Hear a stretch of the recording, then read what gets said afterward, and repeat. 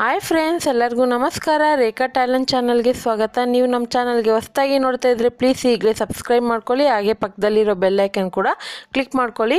ಬನ್ನಿ, ಇವತ್ತು ನಾನು ಮಾಡ್ತಾರಂಥ ವಿಡಿಯೋ ಬಂದ್ಬಿಟ್ಟು ಒಂದು ವಾಲ್ ಡೆಕೋರೇಷನು ಅದರಲ್ಲೂ ಟೀ ಕುಡಿಯೋ ಅಂಥ ಪೇಪರ್ ಕಪ್ನಲ್ಲಿ ಈ ಥರ ಒಂದು ಸುಂದರವಾದಂಥ ಫ್ಲವರ್ ವಾಲ್ ಡೆಕೋರೇಷನ್ ತುಂಬಾ ಚೆನ್ನಾಗಿರುತ್ತೆ. ಇದು ಮಾಡೋದು ಸುಲಭ. ಇದು ಯಾವ ರೀತಿ ಮಾಡೋದಂತ ನೋಡ್ಕೊಬರೋಣ ಇಲ್ಲಿ ಮೊದಲಿಗೆ ನಾನು ಈ ಥರ ಒಂದು ಕಾರ್ಡ್ಬೋರ್ಡ್ ತೊಗೊಂಡಿದ್ದೀನಿ. ಈ ಥರ ಸ್ಕೇಲ್ ಮೆಜರ್ಮೆಂಟಲ್ಲಿ ಪೆನ್ಸಿಲಿಂದ ಮಾರ್ಕ್ ಮಾಡಿಕೊಂಡು ಸ್ಕೇಲ್ ಎಷ್ಟು ಅಗಲ ಇದೆ ಅಷ್ಟು ಅಗಲ ಮಾಡ್ಕೊಂಡಿದ್ದೆ ನಿಮಗೆ ಯಾವ ಸೈಜಿಗೆ ಬೇಕೋ ಆ ಸೈಜ್ಗೆ ಕಟ್ ಮಾಡ್ಕೊಳ್ಳಿ. ಈ ಥರ ಕಟ್ಟರಿಂದ ನಾನು ಕಟ್ ಮಾಡಿಕೊಂಡು ಸುಮಾರು ಒಂದು ಆರು ಪೀಸ್ ಬೇಕಾಗುತ್ತೆ ಇದಕ್ಕೆ. ನೀವು ಬೇಕಂದರೆ ಎಂಟು ಪೀಸ್ ಸಹ ಮಾಡ್ಕೋಬೋದು. ಯಾಕಂದರೆ ದೊಡ್ಡ ದೊಡ್ಡ ಆಗಿರೋದ್ರಿಂದ ನಾನು ಆರು ಪೀಸ್ ಮಾಡ್ಕೊತೀನಿ. ಸೊ, ಇದನ್ನು ಆರು ಪೀಸ್ ಕಟ್ ಮಾಡಿದ ಮೇಲೆ ಇದಕ್ಕೆ ನಾನು ಬ್ಲ್ಯಾಕ್ ಕಲರಲ್ಲಿ ಪೇಂಟ್ ಮಾಡ್ಕೊತೀನಿ. ಸೊ, ಇದನ್ನು ತೋರಿಸ್ತೀನಿ ನೋಡ್ತಾ ಇರ್ಬೋದು. ಈ ಥರ ಬ್ಲ್ಯಾಕ್ ಕಲರಲ್ಲಿ ನಾನು ಆಲ್ರೆಡಿ ಪೇಂಟ್ ಮಾಡಿ ಇಟ್ಟಿದ್ದೀನಿ ಯಾಕಂದರೆ ಸ್ವಲ್ಪ ಟೈಮ್ ಸೇವ್ ಆಗುತ್ತೆ, ಲೆಂತಿ ಆಗಬಾರ್ದು ಪೇಂಟ್ ಮಾಡೋದನ್ನು. ಅದು ಯಾಕಂದರೆ ಡ್ರೈ ಆಗೋದಕ್ಕೂ ಟೈಮ್ ತಗೊಳ್ಳುತ್ತೆ ಅದಕ್ಕೋಸ್ಕರ ನಾನು ಮುಂಚೆನೇ ಪೇಂಟ್ ಮಾಡಿ ಕಟ್ ಮಾಡಿ ಇಟ್ಕೊಂಡಿದ್ದೀನಿ. ಈಗ ಇದನ್ನು ನಾವು ಇದು ಕ್ಲೀನಾಗಿ ಜೋಡಿಸ್ಕೊಳ್ಳೋಣ. ಸ್ವಲ್ಪ ದೂರ ದೂರನೇ ಜೋಡಿಸ್ಕೋಬೇಕು. ಹತ್ತತ್ರ ಜೋಡಿಸ್ಕೊಳ್ಳೋಂಗಿದ್ರೆ ಚಿಕ್ಕ ಚಿಕ್ಕ ಫ್ಲವರ್ ಆದರೆ ಹತ್ತತ್ರ ಜೋಡಿಸ್ಕೋಬೋದು.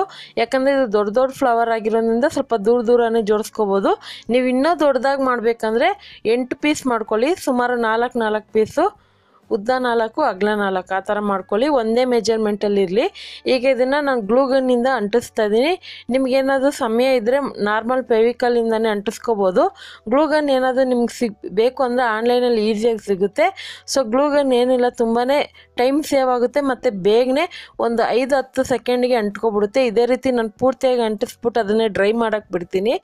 ಅಷ್ಟೊತ್ತಿಗೆ paper cup. So, paper cup ನೀವು ದೊಡ್ಡದಾದ್ರೂ ತಗೊಳ್ಳಿ. ಮೀಡಿಯಮ್ ಸೈಜ್ಗೂ ಬರುತ್ತೆ ಮತ್ತು ಚಿಕ್ಕ ಸೈಜ್ಗೂ ಬರುತ್ತೆ. ನಾನು ಇಲ್ಲಿ ಚಿಕ್ಕ ಸೈಜ್ ತಗೊಂಡಿದ್ದೀನಿ.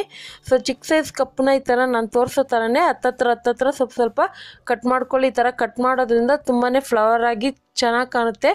ಈ ಪೇಪರ್ ಕಪ್ನ ನೀವು ಯಾವ ಥರ ಫ್ಲವರ್ ಬೇಕಂದ್ರೂ ಡಿಸೈನ್ ಮಾಡಿ ಪೆನ್ಸಲ್ಲೇ ಡ್ರಾಯಿಂಗ್ ಮಾಡಿ ಕೂಡ ಕಟ್ ಮಾಡ್ಕೋಬೋದು. ಆದರೆ ಇದಕ್ಕೇನು ಡ್ರಾಯಿಂಗ್ ಮಾಡೋದು ಬೇಕಾಗಿಲ್ಲ ಈಸಿಯಾಗಿ ನೀವು ಮಕ್ಕಳಿಗೆ ಕೂಡ ಈಸಿಯಾಗಿ ತೋರಿಸ್ಕೊಡ್ಬೋದು.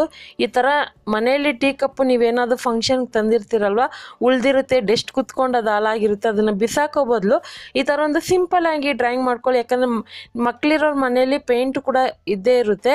ಸೊ ಪೇಂಟ್ ಇಲ್ಲಾಂದ್ರೂ ನೀವು ಬೇಕಂದರೆ ಸ್ಕೆಚ್ ಪೆನಲ್ಲಿ ಸ್ಕೆಚ್ ಮಾಡಿ ಕೂಡ ನೀವು ಡಿಸೈನ್ ಮಾಡ್ಕೋಬೋದು.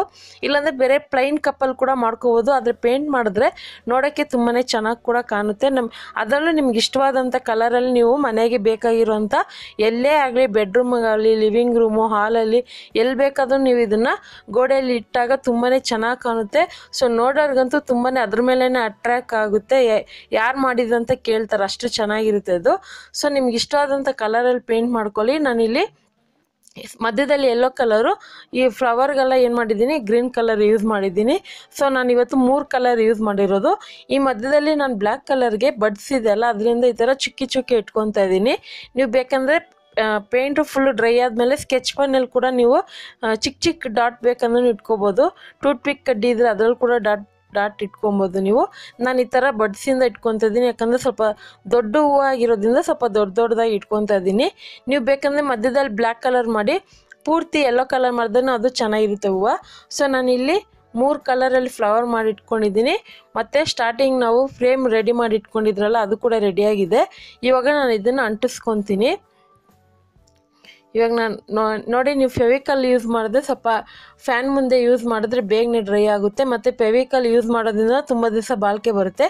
ಗ್ಲೂ ಗನ್ನೂ ಅಷ್ಟೇ ಬೇಗನೆ ಟೈಮ್ ಸೇವ್ ಆಗುತ್ತೆ. ಅದಕ್ಕೋಸ್ಕರನೇ ಇವಾಗ ನೋಡಿ ನಾನು ತೋರಿಸ್ತಾ ಇದ್ದೀನಲ್ಲ ಆ ಥರ ಅಂಟಿಸ್ಕೊಳ್ಳಿ ನೀವು ಬೇಕಂದರೆ ಪೂರ್ತಿ ಒಂದೇ ಕಲರ್ ಕೂಡ ಮಾಡ್ಕೊಬೋದು.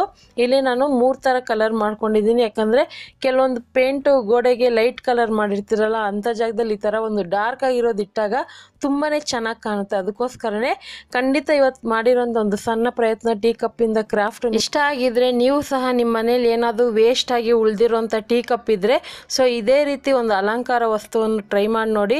ಸೊ ಟ್ರೈ ಮಾಡಿಬಿಟ್ಟು ನಿಮ್ಗೆ ಯಾವ ರೀತಿ ಬಂತು ಅನ್ನೋದನ್ನ ನೀವು ಕಮೆಂಟ್ ಮೂಲಕ ತಿಳಿಸಿ.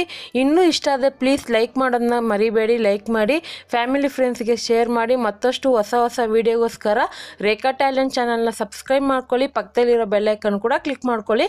ಈ ವಿಡಿಯೋ ನೋಡಿದ್ದಕ್ಕಾಗಿ ಎಲ್ಲರಿಗೂ ಧನ್ಯವಾದಗಳು. Take care bye